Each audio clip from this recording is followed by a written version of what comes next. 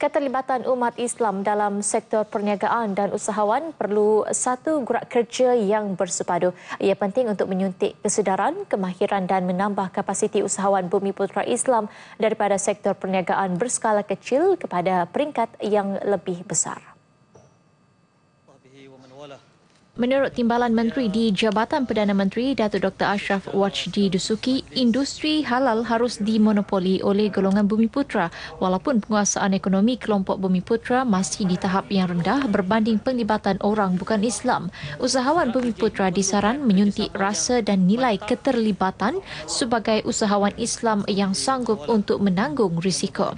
Namun pada masa sama mempunyai keupayaan untuk terlibat secara langsung dalam industri yang pelbagai dalam menjana keuntungan yang akhirnya dapat memberi manfaat kepada orang Islam dalam konteks gerak dakwah dan sebagainya.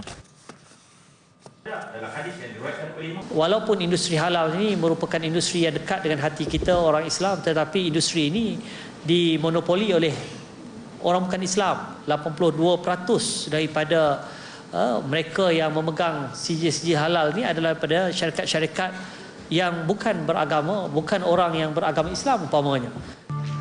Beliau menyatakan perkara itu di Kompleks Islam Putrajaya. Dalam majlis ini juga, beliau menyampaikan hadiah kepada Johan Kori dan Korea yang mewakili syarikat korporat masing-masing. 24 peserta menyertai majlis tilawah Al-Quran syarikat-syarikat korporat peringkat kebangsaan bagi edisi kali ketiga ini. Kalau nama yang tidak disebut adalah Naib Johan